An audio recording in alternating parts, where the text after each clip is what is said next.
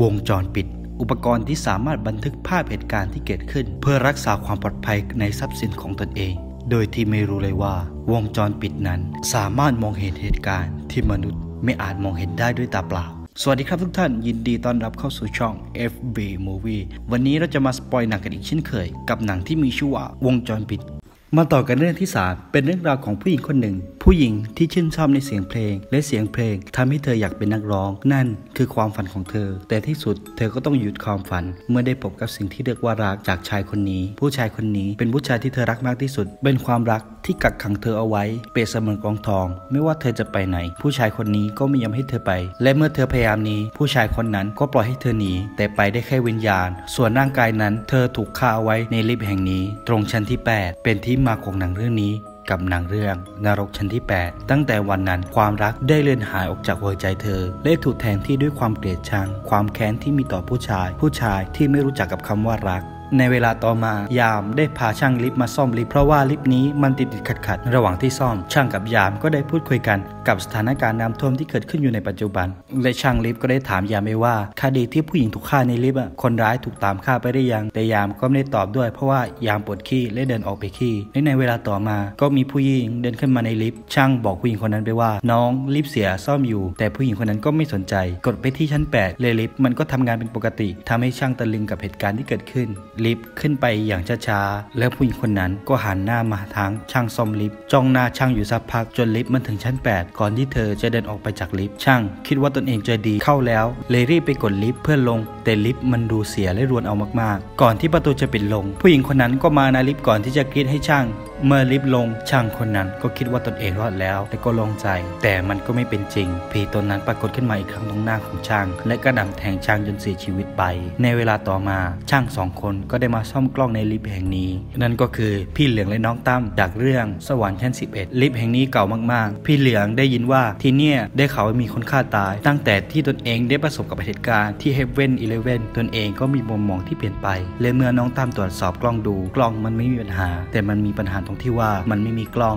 มีแต่สาย พี่เหลืองก็บอกมาว่า อย่างเงี้ยต้องแจ้งกับผู้ว่าติดกล้องดัมมี่ไปได้ยังไง ไม่ใช่ผู้ว่าจังหวัดนะครับเป็นผู้ว่าจ้างและน้องตั้มก็พูดขึ้นมาว่าร้านเฮเว่นอีเลเว่นมันปิดลงแล้วนะ เมื่อวานขับรถผ่าน เพราะว่าต้องเดินทางมาทำงานอะความจริงก็ไม่ได้อยากพังทางนั้น พอดีทางเข้าบ้านมันน้ำท่วมเลยต้องเดินทางผ่านทางนั้น และอยู่ดีๆลิฟต์ก็ปิดลงทางกูคิดว่าอาจจะมีคนกดลิฟต์จากด้านบนก็ได้ และพี่เลืองก็บอกน้องว่ามึงจะพูดเรื่องร้านนั้นทำไมอะกูไม่อยากจดจำกูอยากลืมมันด้วยซ้ำน้องเลยถามพี่ไปว่า วันนั้นทำไมพี่ไม่ช่วยฉันพี่เลยตอบไปว่า ช่วยอะไร กูขี้จะแตกอยู่แล้ว แล้วแกจำอะไรได้ไหมน้องก็ตอบมาว่าจำอะไรไม่ได้ รู้สึกตัวอีกทีก็ถูกดามคอเอาไว้ที่โรงพยาบาล พูดยังไม่ทันจบลิฟต์ก็เปิดขึ้น เปิดรับผู้หญิงใส่ชุดนอนคนหนึ่งพี่เหลืองก็ถามน้องไปว่าชั้นไหนครับ ผู้หญิงคนนั้นก็ตอบมาว่าฉันกดเองเลยกดไปที่ชั้นแปดระหว่างที่เดินทาง ผู้หญิงคนนั้นก็ขากเสลดและทุยลงไปบนพื้นทำให้พี่เหลือเริ่มอารมณ์เสีย ถามไปว่าเป็นตัวเงินตัวทองอะไรครับ น้องก็ห้ามพี่ไปว่าจะยินพี่นั่นผู้หญิง พี่เลยตอบไปว่า ผู้ชายกูก็เอามาแล้วนับภาษาเด็กกับผู้หญิง ผู้หญิงคนนั้น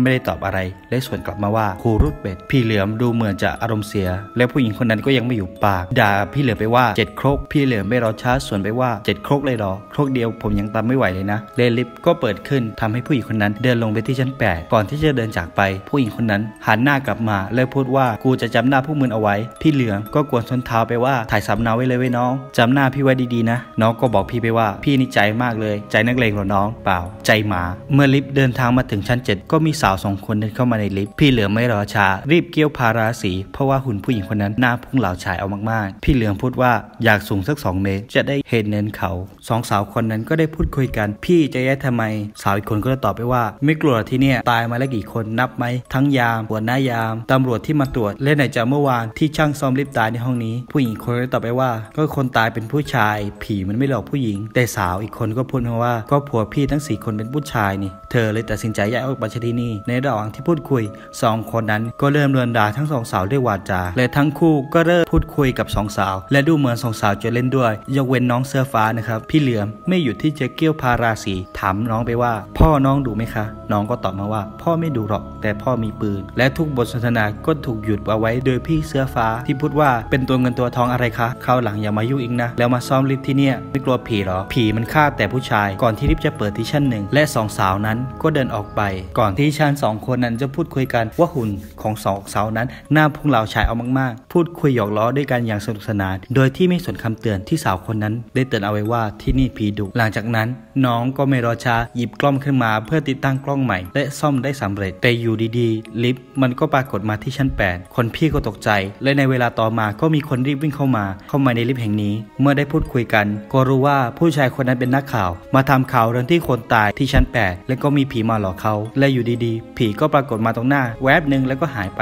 ทั้ง 3 คนตกใจก่อนที่จะปิดลิฟต์และผีมันก็ปรากฏขึ้นมาอีกครั้งแวบหนึ่งและประตูลิฟต์ก็ปิดลง สัญญาณไฟจากลิฟต์บอกว่าตอนนี้อยู่ชั้นหนึ่งแต่เมื่อประตูลิฟต์เปิดออกตัวเลขที่อยู่บนผนังตรงหน้าก็เขียนว่าชั้น 8 นักข่าวคนนั้นไม่รอช้ารีบวิ่งออกไป โดยไม่สังเกตว่าตรงนี้คือชั้น 8 แต่ช่างสองคนนั้นสังเกตได้ทันเลยรีบปิดลิฟต์เพื่อพยายามหนี สัญญาณไฟบอกว่าตอนนี้ลิฟต์กลับมาที่ชั้น 8 อีกครั้ง ดูเหมือนลิฟต์จะเสียหรือว่ามีปัญหาบางอย่างเลยลิฟต์ก็เปิดมาที่ชั้น 8 อีกครั้ง นักข่าวคนนั้นก็วิ่งกลับมาอีกครั้ง และบ่นสองคนไปว่าทำไมไม่บอกว่าเป็นชั้น 8 ตอนนี้ลิฟต์มันรวนเปิดไปเปิดมาไม่รู้ว่าเป็นชั้นไหน และตอนนี้ลิฟต์ก็เปิดขึ้นมาที่ชั้น 8 แล้วก็มีสาวคนหนึ่งปรากฏอยู่หน้าทันทีที่เธอก้าวเข้ามาลิฟต์ก็แจ้งเตือนว่าน้ำหนักมันเกิน ผู้หญิงคนนั้นก็บอกว่าทำไมเข้าไม่ได้ เอาบันไดออกสิน้ำหนักจะได้ลดลง แต่เมื่อเอาบันไดออกเสียงเตือนก็ยังไม่หยุด ระหว่างที่พูดคุยกันอยู่ พี่ผู้หญิงก็ปรากฏขึ้นมาหญิงสาวอ้วนคนนั้นก็บอกว่าโชคดีที่กูเป็นผู้หญิง ผีมันหลอกแค่ผู้ชาย โชคดีนะ ทั้งสามหนุ่มและวิ่งหนีไป แต่ผีคนนั้นมันก็หายไปด้วย พี่เหลือมไม่รอช้า